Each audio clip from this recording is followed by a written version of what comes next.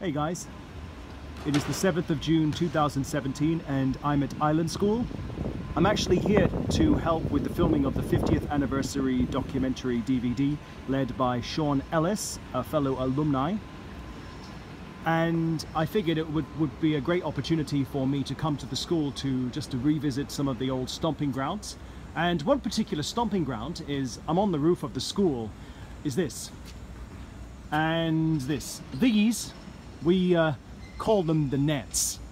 And as the namesake implies, it's a uh, rooftop with netting so that we can play all kinds of ball games and balls and so forth will not fly off the school.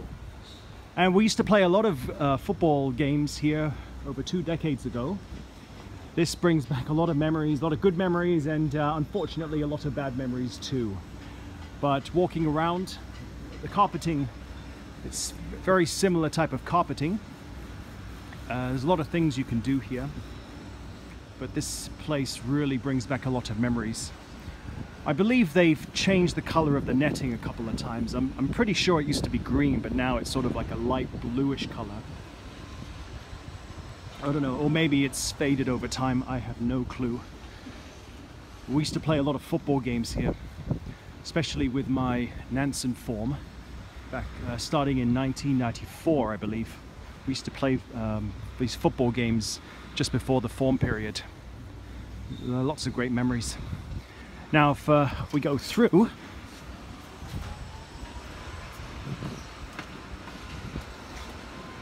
these are the other nets. And over here you can actually you can subdivide the, um, the area with this netting here. We didn't really like to play here because this thing was really just an obstruction. But uh, it's very similar. Other than that, it's very similar. Mm. And like I said, just brings back a lot of, a lot of memories. Uh, it's going to be a real shame that um, all of this, as well as a lot of Island School, is, is going to be torn down pretty soon. But I guess the good news in a way is we're going to be getting a new island school. There's going to be a whole lot more that they can do with the new building, but at the same time, it's a shame to, to lose the old one. But I suppose for the greater good and uh, in the long run, it seemed inevitable that they would um, have to tear down the school, whether you like it or you don't. I've also noticed um, there's a solar uh, panels on the other roof and there's a like a turbine at the top. I think it's been there for seven years, or at least the, the wind turbine. Oh, that's wow. Right.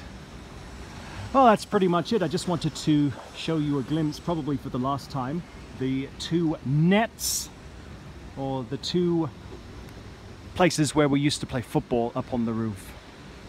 So thank you very much for watching and see you all soon.